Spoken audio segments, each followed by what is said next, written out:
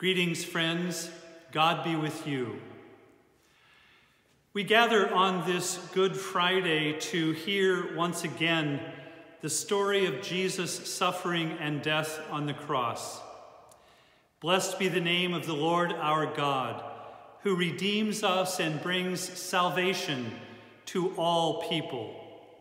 Christ became obedient unto death, even death on a cross. Blessed be the name of God. Let us pray. Ever present God, on this Good Friday, our whole world is engulfed in shadows as we remember the story of Jesus' death. We confess that we want to push the fast forward button on this familiar story because it hurts so much. It hurts to think of the betrayal and arrest of Jesus. It hurts to imagine Jesus abandoned and suffering on the cross, with only a faithful few watching him breathe his last. It hurts to watch your light overtaken by the shadows of the world. But we must find our place in this crucifixion story and feel the pain that is there the pain of the world, of faithless decisions, of betrayal, of injustice.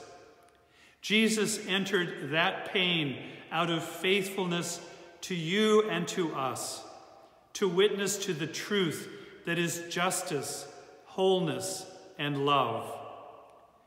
We confess we are afraid to enter this pain with Jesus Strengthen us with courage and offer glimpses of hope in the shadows of death. Let us know you are present with us in this moment of pain, now as always. Amen.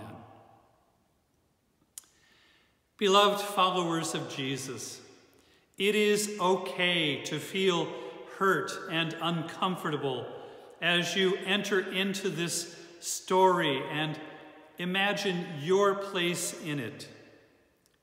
Know that God meets you in the story with comfort as well as challenge, with courage as well as love. Amen.